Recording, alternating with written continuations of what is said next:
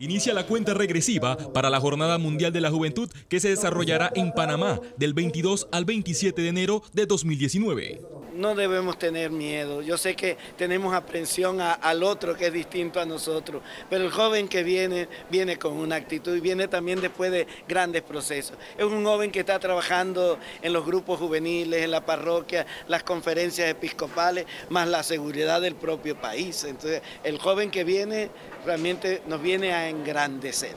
Las inscripciones para este evento se abrirán cuando el Papa Francisco se inscriba. El Papa se inscribirá y vamos a estar ese día pendiente desde el rezo del Ángelus. Eh, escogerá a jóvenes ya internacionales, un joven lo va a acompañar al Papa para que sea él el que primero se, inscriba. ¿no? Él se inscribe ya con la, la nueva tecnología.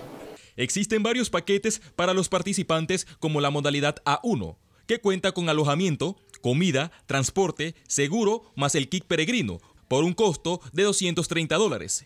El alojamiento será sencillo, es decir, desde el lunes 21 hasta el domingo 27 de enero de 2019. El paquete en la modalidad B1 incluye alojamiento, comida, transporte, seguro, más el kit peregrino, por un costo de 120 dólares. Tiene una cobertura desde el desayuno del viernes 25 hasta el almuerzo del domingo 27, aunque los peregrinos tendrán alojamiento hasta el lunes 28 de ese mismo mes.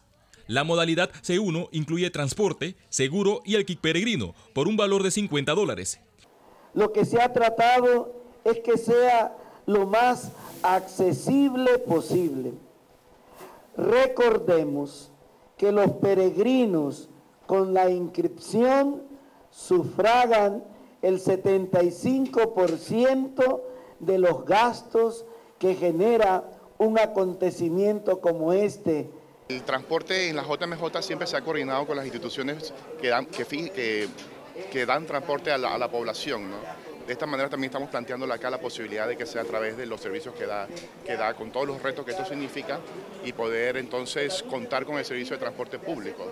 O sea, que los peregrinos puedan contar con ese servicio de transporte de manera que puedan acercarse tanto a las áreas de alojamiento como a las áreas de los eventos de los actos centrales. El paquete depende de las necesidades del grupo que se va a registrar todos los paquetes, indistintamente de la modalidad y el servicio, todos van a incluir el kit peregrino, el transporte público durante la JMJ o durante la cobertura que elijan eh, y el seguro médico, importante. Finalmente hay descuento del 10% para quienes cancelen hasta el 31 de julio de 2018.